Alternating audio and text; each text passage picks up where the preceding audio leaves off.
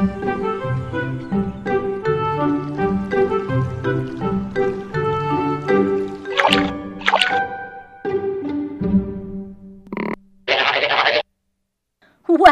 that was pretty cool, Doogie. I saw some starfish, a big crab, lots and lots of seaweed.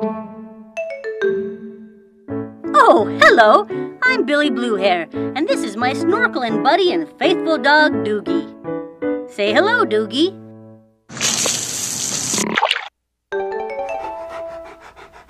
Uh-oh, looks like you swallowed some seawater.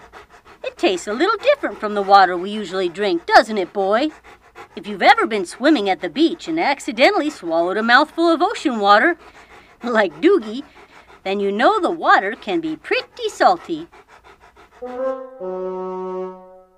Actually, really salty. In fact, if you took all the salt out of the ocean and poured it over all the land on Earth, it would make a layer more than 500 feet thick.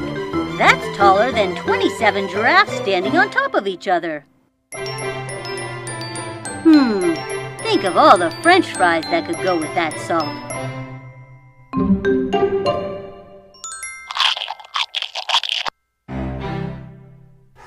So, here is the question. Why is the ocean salty? Where did all that salt come from? Well, there are a few different reasons. First, let's go back in time a little bit. Oh, say, four billion years. That looks about right.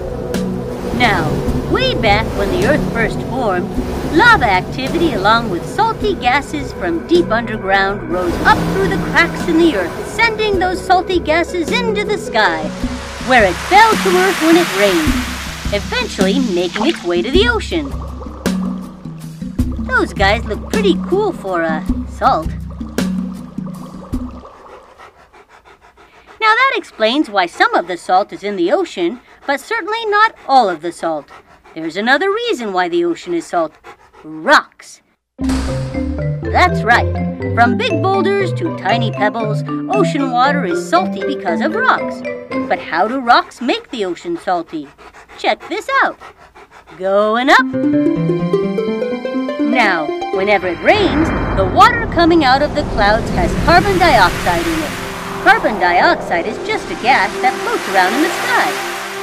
This gas makes rain slightly acidic. That just means it's like water with a built-in scrub brush.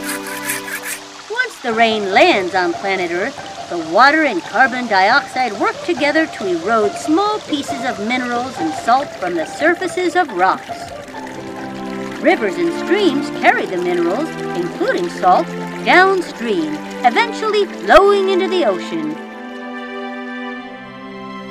And over time, voila! A big salty ocean. Did you know that the ocean doesn't have the same amount of salt everywhere? Some parts of the ocean are saltier than other parts. The water around the North and South poles has the least amount of salt. That's because the oceans in those areas get lots of fresh, non-salty water added to it from rain and snow, as well as from melting ice. One of the saltiest parts of the ocean is the Red Sea between Africa and Asia. The Red Sea is so salty because it doesn't get much fresh water. Did you know the saltier the water, the easier it is to float? That's because all that salt makes the water denser. The denser the water, the more buoyant or floatable you become. Um, now that's a little too buoyant. So, ancient gases from deep within the earth, as well as salt from rocks on the land, make the ocean salty. Just a little something to remember next time you get a mouthful of seawater. Right, Doogie? Oh no, not again. And a fish too? That's just not right. You know, if you're thirsty, I think there's some lemonade back at the beach. Race you?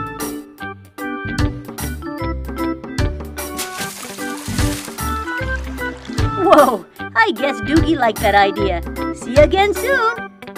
Hey, save some for me, you salty dog. So Sweet.